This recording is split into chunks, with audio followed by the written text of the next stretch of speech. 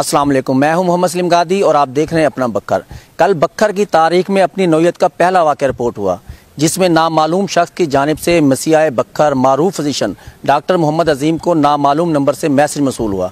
Message में नामालूम शख्स ने सात लाख रुपए की डिमांड की और कहा कि अगर आपने सात लाख रुपए ना दिए तो अपनी जान से हाथ धो बैठोगे, जिसके फ़ौरन बाद डॉक्टर मोहम्मद अजीम ने D P O Bhakkar captain retired Mohammad Ajmal से रबता किया। कैप्टन रिटायर्ड मोहम्मद अजमल ने फौरी तौर पर टीमें तश्कील दी, जिन्होंने छः घंटे के दौरान मुलजिम को ट्रेस कर लिया और मुलजिम को गिरफ़्तार करके हवालात में बंद कर दिया। ये वाक़ कैसे कैसे पेश आया?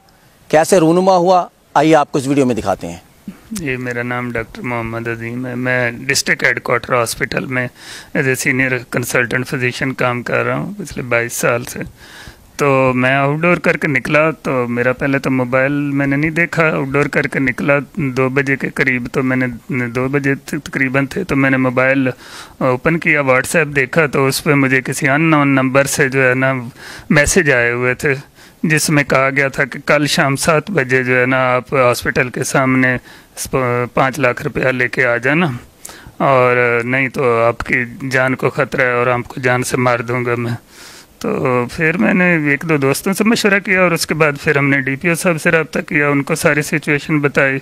तो डीपीओ साहब ने उसी वक्त अपने सिक्योरिटी इंचार्ज को बुलाया, सनाउल्ला साहब को, और उन्होंने आके, उन्होंने फिर इस पर काम शुरू किया। उन्होंने जो भी आईटी वालों से और जो उनकी बाकी टीम्स थी, उन्होंने इस पर काम शुरू किया।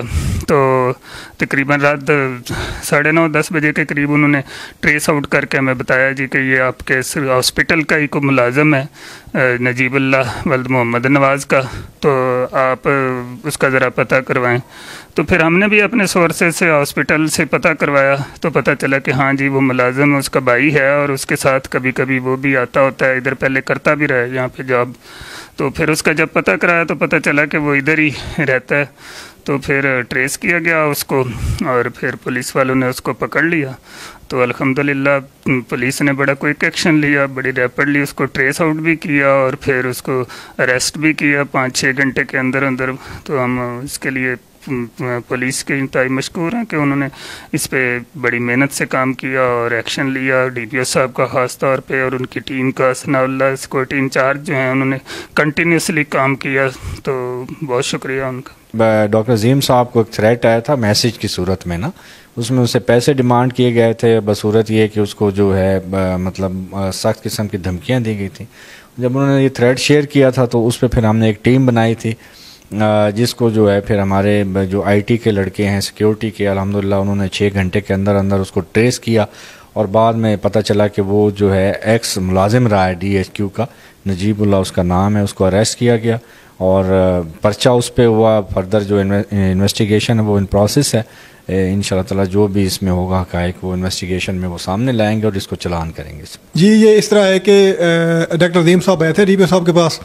तो उनको एक बंदे ने मैसेज किए थे व्हाट्सएप पे, जो उसने सिम इस्तेमाल की, बंदे ने वो किसी और के नाम पे थी, और डीपी साहब ने ये टास्क दिया हमें जी कि आपने ये बंदा ट्रेस करना है, जो कि थ्रेट कर रहा है डॉक्टर साहबान को ना।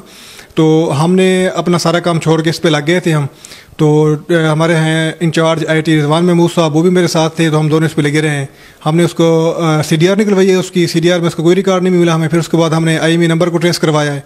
जो उसने कोई उससे दस दिन पहले सिम इस्तेमाल की थी, हमने वो सिम निकलवा लिया, उस सिम से हमने उसका रिकॉर्ड निकलवाया निकलवाया है। वो बंदा मिला है हमें था उसका मनकेरा का तहसील अपना मनकेरा का था, वो बिलोंग बिलोंग, मनकेरा से बिलोंग करता है।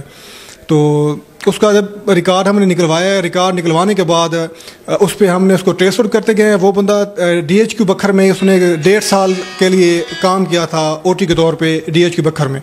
उसको जब वो नैरो करते गए तो वो इधर में मिला जो अपना खानसर चौक पे है कोयटा होटल वहाँ से हमने ट्रेस किया, लेकिन जब हम वहाँ पहुँचे तो वो वहाँ से कोई पाँच दस मिनट पहले निकल चुका था वहाँ से। फिर हमने उसको जी डी एच क्यू की पार्किंग में जाकर हमने उसको अरेस्ट किया है। और उससे वो मोबाइल रिकवर किया है, जिसमें उसने डॉक्टर अदीम साहब को मैसेज किए हुए थे, और उसके व्हाट्सएप से वो मैसेज भी रिकवर हो गए उससे वो मोबाइल भी रिकवर हो गया उसने चीज़ को तस्लीम भी किया कि जी मैंने मैसेजेस किए थे, मुझे कुछ पैसे चाहिए थे, वालद और वालदा मेरे फौत हो गए हैं जी तो इसलिए मुझे और कोई सोर्स नहीं मिल रहा तो मैंने इस तरह किया करेक्टर उसका सही नहीं था। पहले उसने जब काम शुरू किया था डी एच क्यू में तो उसको वहाँ से निकाल दिया गया था। उसकी वजह भी यही थी कि जी वो बंदा बिलो दी बेल्ट उसकी करेक्टर था, इसलिए उसको वहाँ से निकाल दिया गया था। ये एक बकर की नोयत का काफ़ी संगीन एक हमें एक टास्क मिला था कि एक भत्ते की कॉल आई एक हमारे एक मरूफ डॉक्टर को। तो उसके लिए फिर हम, जो हमारे जो एक आईटी के रिलेटेड जो होते हैं इन्फॉर्मेशन जो हम गेट करते हैं, वो हमने तमाम सोर्सेज अपने यूज़ किए। विद इन टू आवर्स हमने बंदे को ट्रैक डाउन कर लिया था। उसकी हमने आइडेंटिटी उसको ले ली थी। फिर हमारा मेन उसके ऊपर था, उस बंदे को अरेस्ट करने के ऊपर। फिर हमने वर्क किया उसके अरेस्ट करने के ऊपर। उसके तमाम क्रेडेंशियल उसके नोट किए।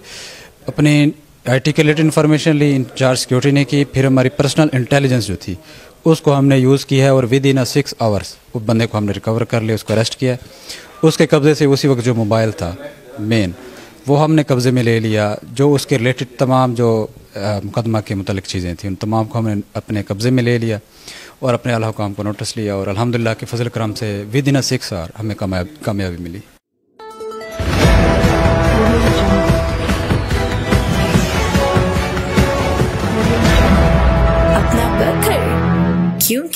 ये अपना है।